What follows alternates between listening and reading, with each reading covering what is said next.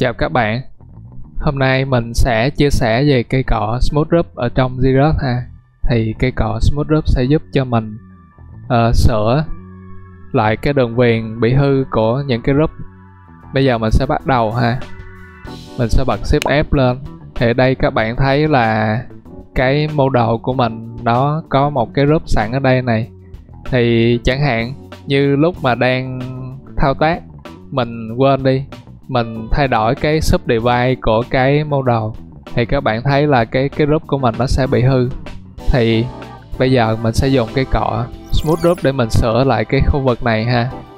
Các bạn sẽ nhấn vào lightbox này, chuyển qua cái group này. Thì mình sẽ double click vào cái folder smooth ha. Ở đây mình sẽ có cái cọ là cọ smooth group. Mình double click vào, các bạn nhấn ok thì lúc này khi mình nhấn shift này cái cọ smooth bình thường của mình nó sẽ biến thành smooth group. Giờ mình sẽ sử dụng nó cho các bạn xem ha.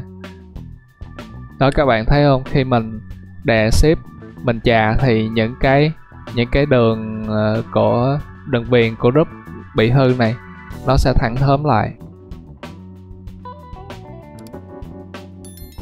Đó các bạn thấy không? Rất là hay ha sau khi mình chà xong thì các bạn thấy là lúc nãy nó vỡ rất là nhiều, nhưng mà bây giờ nó, cái đường đường đi của group nó đã thẳng, nó đã đẹp rồi này. Rồi mình chỉ, mình có thể nó sử dụng cái khối này để làm việc của mình. Mình quên phải đeo hai đần nữa ha. Mình sẽ remake nó lại.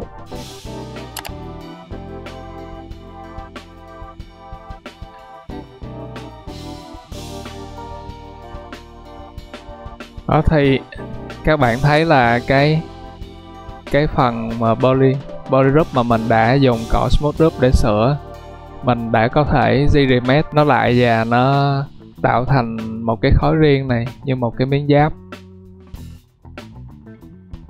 Đó, rồi mình chỉ cần nó xử lý ở trên cái cái khối này theo cái ý mình muốn thôi